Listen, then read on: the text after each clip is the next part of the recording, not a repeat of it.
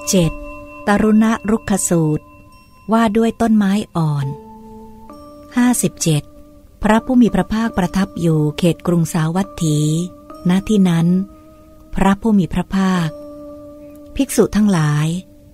ภิกษุพิจารณาเห็นความพอใจเนืองๆในธรรมทั้งหลาย ที่เป็นปัจจัยแห่งสังโยชน์ตัณหาย่อมเจริญ เพราะตัณหาเป็นปัจจัย อุปทานจึงมี ความเกิดขึ้นแห่งกองทุกข์ทั้งมวลนี้มีได้ด้วยประการชนี้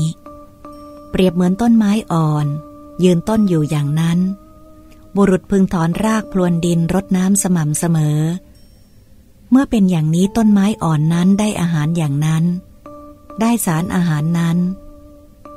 พึงถึงความเจริญงอกงามไพบูรณ์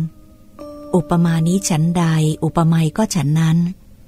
เมื่อภิกษุพิจารณาเห็นความพอใจเนืองๆ ในธรรมทั้งหลายที่เป็นปัจจัยแห่งสังโยชน์ตัณหาย่อมเจริญ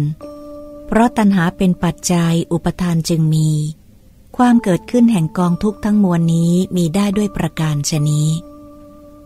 เมื่อภิกษุพิจารณาเห็นโทษเนืองๆ ในธรรมทั้งหลายที่เป็นปัจจัยแห่งสังโยชน์ตัณหาย่อมดับ เพราะตัณหาดับอุปทานจึงดับ ความดับแห่งกองทุกข์ทั้งมวลนี้มีได้ด้วยประการชนี้ ภิกษุทั้งหลาย เปรียบเหมือนต้นไม้อ่อน ยืนต้นอยู่อย่างนั้น ที่นั้นบุรุษถือจอบและตะกร้าเดินมา หรือลอยในแม่น้ำที่มีกระแสเชี่ยว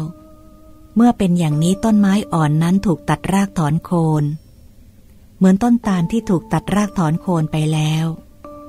เหลือแต่พื้นที่ทำให้ไม่มี เกิดขึ้นต่อไปไม่ได้ อุปมานี้ฉันใดอุปไมยก็ฉันนั้น